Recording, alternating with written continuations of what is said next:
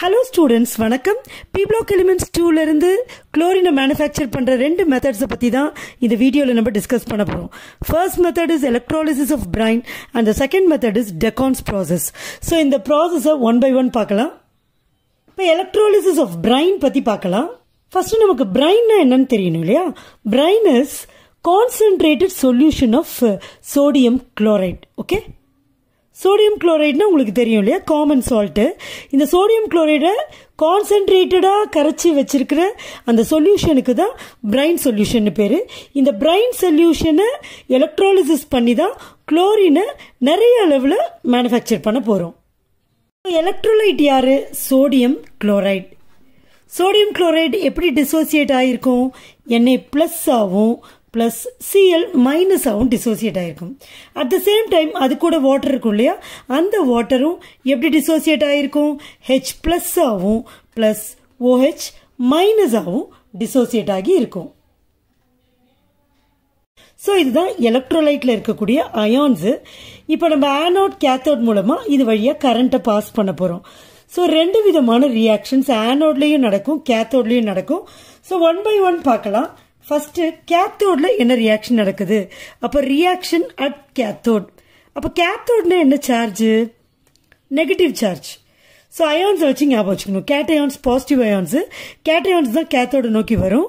So கேத்தோடுக்கு negative charge இருக்கணும். So cations வரும். இப்போ இந்த எலக்ட்ரோலைட்டில் பாருங்க ரெண்டு விதமான கேட்டையான்ஸ் இருக்கு. ஸோ இதில் இந்த ஹெச் பிளஸ் அயான்ஸ் என்ன பண்ணும்? கேத்தோட நோக்கி அட்ராக்ட் ஆகும். கேத்தோட் கிட்ட வரும். அங்கேருந்து எலக்ட்ரானை அக்செப்ட் பண்ணும். அக்செப்ட் பண்ணிட்டு ஹெச்சாக மாறும்.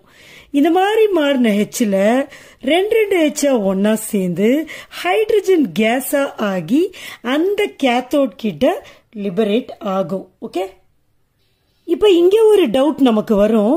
இந்த எலக்ட்ரோலைட்டில் என்ஏ ப்ளஸ் இருக்கே. என்ஏக்கும் பாசிட்டிவ்லி சார்ஜ் தானே இருக்குது அப்போது இந்த நெகட்டிவ்லி சார்ஜ் கேத்தோட் கிட்ட இந்த என்ஏ ப்ளஸ் போகாதா? கண்டிப்பா போகும். பட் இந்த மாதிரி எலக்ட்ரான்ஸ் அக்செப்ட் பண்ணிட்டு சோடியம் மெட்டலா அங்க டெபாசிட் ஆகாது. ஏன்னா ரெண்டு பாசிட்டிவ் அயான்ஸ் இருக்கு. அப்ப ரெண்டு பாசிட்டிவ் அயான்ல எது மோர் ரியாக்டிவோ அது சொல்யூஷனை விட்டுட்டு வெளியில வராது. டெபாசிட் ஆகிறதுக்கு கோஆப்ரேட் பண்ணாது. இப்போ என்ஏ பிளஸ் அயான் இருக்கு ஹெச் பிளஸ் அயான் இருக்கு. ரெண்டுமே கேத்தோட் கிட்ட போனாலும் இந்த NA plus அயானோட reactivity more than that of H plus so இது வந்து எலக்ட்ரான் அக்செப்ட் பண்ணிட்டு டெபாசிட் ஆகாது. Instead it will remain in solution இப்போ அட் அட் ஆனோட் இப்போ கேத்தோடில் என்ன ரியாக்ஷன் நடக்குது அப்படின்னு சொல்லிட்டோம். ஸோ ஆனோடில் என்ன ரியாக்ஷன் நடக்குது? ஆனோடுக்கு என்ன charge positive charge positively charged electrode. So it will attract the negative ions present in the solution. இங்க ரெண்டு ions இருக்கு Cl minus OH minus.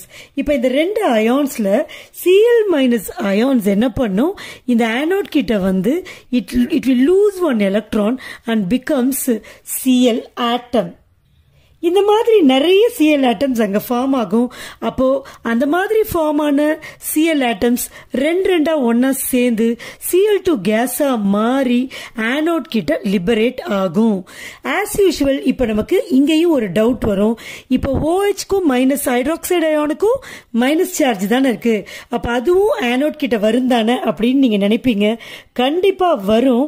ஆனால் ஆனோட் கிட்ட வந்து எலக்ட்ரானை லூஸ் பண்ணிட்டு இந்த மாதிரிலாம் ஆகாது. பிகாஸ் அந்த சொல்யூஷனில் more reactive N A plus ions இருக்கும். இந்த என்ஏ பிளஸ் அயான்ஸ் இந்த ஓஹெச் மைனஸ் அயான்ஸ் கூட ரியாக்ட் பண்ணி சோடியம் ஹைட்ராக்சைடை ஃபார்ம் பண்ணும். ஸோ இந்த ப்ராசஸில் பார்த்தீங்கன்னா குளோரின் தான் நம்ம மேனுஃபேக்சர் பண்ணுறோம் நிறைய லெவலில் குளோரின் கிடைக்குது. பை த பை அது கூடவே சோடியம் ஹைட்ராக்சைடு ஹைட்ரஜன் மாதிரி யூஸ்ஃபுல் ப்ராடக்ட்ஸும் நமக்கு பை ப்ராடக்ட்ஸாக கிடைக்குது செகண்ட் மெத்தடான டெக்கான் ப்ராசஸில் குளோரின் எப்படி மேனுஃபேக்சர் பண்ணுறாங்கன்னா by oxidising hydrogen chloride gas with oxygen அப்போ ஹைட்ரஜன் குளோரைட் கேஸையும் ஆக்சிஜனையும் ஒன்றா கலந்து ஒரு seven twenty three கெல்வினில் in presence of a catalyst அதுதான் ரொம்ப ரொம்ப முக்கியம். C U C L two இதுக்கு cupric chloride or copper two குளோரைட்னு பேர்.